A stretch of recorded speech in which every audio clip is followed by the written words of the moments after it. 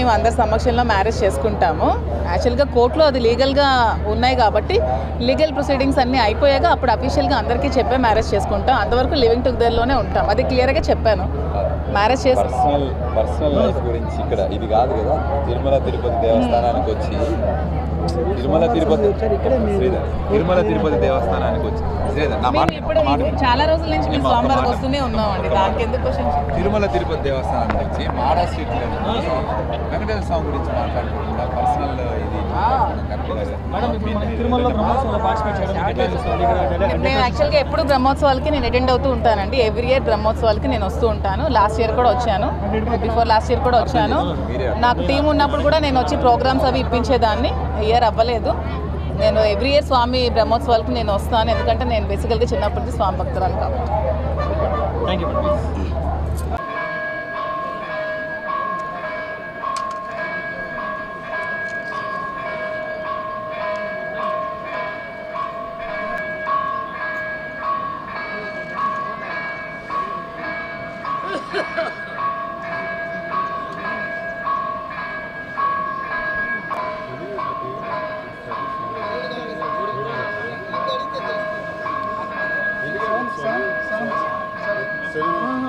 seven.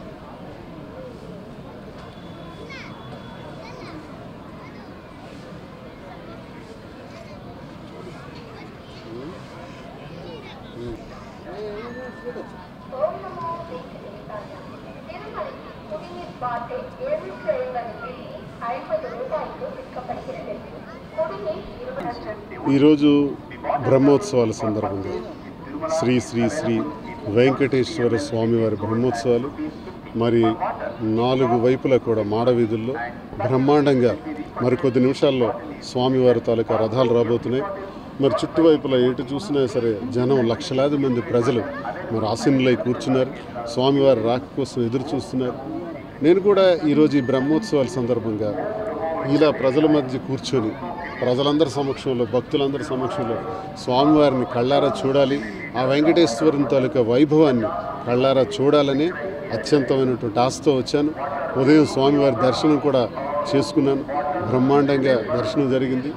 నేను ఒకటే కోరుకుంటున్నాను. బ్రహ్మోత్సవాల సందర్భంగా స్వామివారు ఈ భూమి మీద ఉండేటటువంటి సకల జనులకి ప్రతి జీవరాశికి ప్రతి ప్రాణికోటికి కూడా స్వామివారి ఆశస్సులు ఉండాలని ఆయురారోగ్యాలతో అష్టైశ్వర్యాలతో ప్రజలందరూ సంతోషంగా ఉండాలని మరి దేశానికి ఈ ప్రాంతానికి ఈ ప్రపంచంలో ప్రతి ఒక్క ప్రాంతంలో కూడా స్వామివారి తాలూకా ఆశస్సులు ఉంటాయి. కోటాను కోట్ల మంది భక్తులు వారి కోసం ఎప్పుడు ఎదురు చూస్తున్నటువంటి సందర్భం. ఈ గొప్ప బ్రహ్మోత్సవాల కోసం కోటాను కోట్లు ఈరోజు టీవీల్లోను ఛానల్స్లోను ఎంతోమంది చూస్తుంటారు ఎదురు చూస్తుంటారు. మరి స్వయంగా స్వామివారిని చూస్తే ఆ జీవితమే వేరు. ఆ జీవితం ధన్యమైపోతుందన్నటువంటి సంతోషంతో నేను ఇక్కడికి రావటం జరిగిందని మీ అందరికీ తెలియజేస్తున్నాను.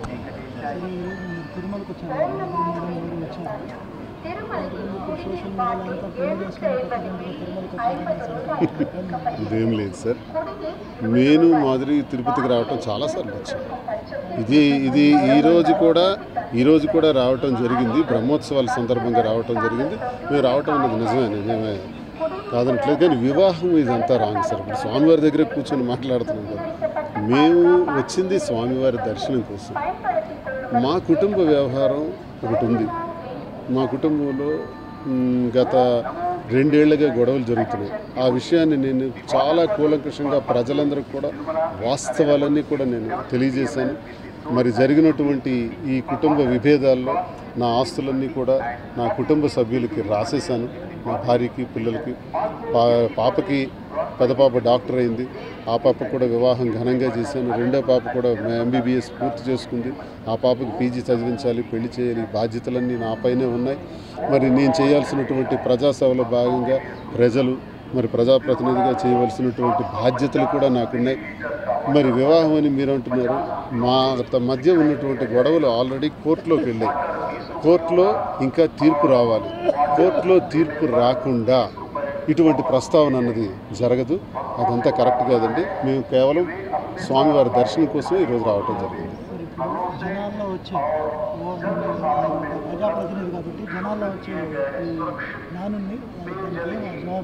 లేదండి అదే నేను చెప్తున్నాను. ఇప్పుడు ఏదైతే ప్రచారం జరుగుతుందో మేమిద్దరు వివాహం చేసుకున్నామని వివాహం చేసుకుని దానికి ఈరోజు వచ్చామని అందుకే దర్శనం చేసుకున్నామని అది అబద్ధం అండి. ఈరోజు కేవలం దర్శనానికి మాత్రమే మేము వచ్చాం. గతంలో కూడా చాలాసార్లు రావటం జరిగింది. నేను ఇదివరకు మీడియాలో కూడా చెప్పాను. ఇప్పుడు అలాగే వచ్చాను తప్ప కోర్టులో కేసులు ఉంటుండగా నాకు వాణికి మధ్య సంబంధించినటువంటి కోర్టు తీర్పు ఏ రకంగా ఉంటుందో తెలియదు. ఇంకా ఆమె కూడా వివాహిత. ఆమె కూడా కోర్టులో వాళ్ళు కూడా డిసైడ్ చేసుకోవాలి.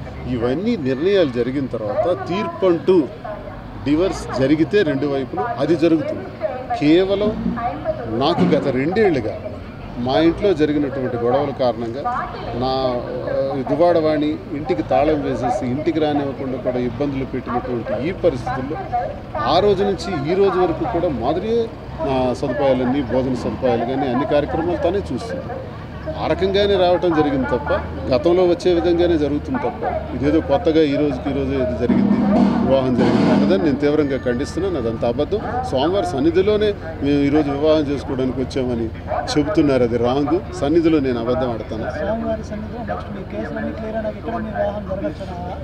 కేసులన్నీ క్లియర్ అయిన తర్వాత తీర్పు ఆమె ఇప్పుడు డివర్స్కి వెళ్ళాం. వాణి నేను. ఇద్దరు తను కూడా నా మీద డొమెస్టిక్ వైలెన్స్ పిటిషన్స్ వేశారు. నేను డివర్స్ పిటిషన్ వేశాను. ఆ తీర్పు ఎన్నాళ్ళు అవుతుందో చూడాలి. కోర్టులో తీర్పు వచ్చిన తర్వాత. అలాగే ఆమె కూడా వివాహిత కాబట్టి వాళ్ళ భర్తకి వాళ్ళకి మధ్య డిస్ప్యూట్స్ ఉన్నాయి. ఆ డిస్ప్యూట్స్లో ఆమెది కూడా క్లియర్ అవ్వాలి. ఇవన్నీ క్లియర్ అయిన తర్వాత స్వామివారి నిర్ణయం ఎలా ఉంటుందో అన్నీ నేను స్వామి వాళ్ళకి భక్తుడిని నేను మా ఇంటి ఇలవేల్పు వెంకన్న స్వామి. సో వెంకన్న స్వామి ఆ నిర్ణయాలన్నీ చేస్తాడు. ఆయన ఎలా ముందుకు కాదండి పెళ్ళి చేసుకుంటే అందరికీ చెప్పే మేము అందరి సమక్షంలో మ్యారేజ్ చేసుకుంటాము. యాక్చువల్గా కోర్టులో అది లీగల్గా ఉన్నాయి కాబట్టి లీగల్ ప్రొసీడింగ్స్ అన్నీ అయిపోయాక అప్పుడు అఫీషియల్గా అందరికీ చెప్పే మ్యారేజ్ చేసుకుంటాం. అంతవరకు లివింగ్ టుగెదర్లోనే ఉంటాం. అది క్లియర్గా చెప్పాను. మ్యారేజ్ చేసి పర్సనల్ పర్సనల్ గురించి ఇది కాదు కదా. తిరుమల తిరుపతి దేవస్థానానికి వచ్చి తిరుమల తిరుపతి ఓం నమో వెంకటేశాయ. తిరుమల తిరుపతి బ్రహ్మోత్సవాల సమయంలో ఆ తిరుమల తిరుపతి మాడ వీధుల్లో వ్యక్తిగత విషయాలు మాట్లాడారని అది తిరుమల తిరుపతి దేవస్థానం విధి విధానాలకు విరుద్ధమైనది. దాని మీద చర్య తీసుకోవాలని చెప్పేసి టీటీడీ విజిలెన్స్ వారు కంప్లైంట్ ఇవ్వడం జరిగింది. దాని మీద కేసు కట్టడం జరిగింది. Section two ninety nine three hundred కింద. ఇన్వెస్టిగేషన్ చేసి ఫర్దర్ చట్టపరమైన చర్య తీసుకోవడం జరుగుతుంది. వ్యక్తిగత విషయాలు ఇది పవిత్రమైన తిరుమల తిరుపతి దేవస్థానంలో ఇక్కడ భక్తికి సంబంధించినది దేవునికి సంబంధించిన విషయాన్ని మాట్లాడుకుంటే తప్పులేదు కానీ వ్యక్తిగత విషయాలు మాట్లాడటం ఇక్కడ నిషేధించడం మాట్లాడుకోవడం కూడా మంచిది కాదు అని అందరికీ తెలియజేయడం two ninety nine three hundred section కింద బిఎన్ఎస్ యాక్ట్ కింద రిజిస్టర్ చేయడం జరిగింది.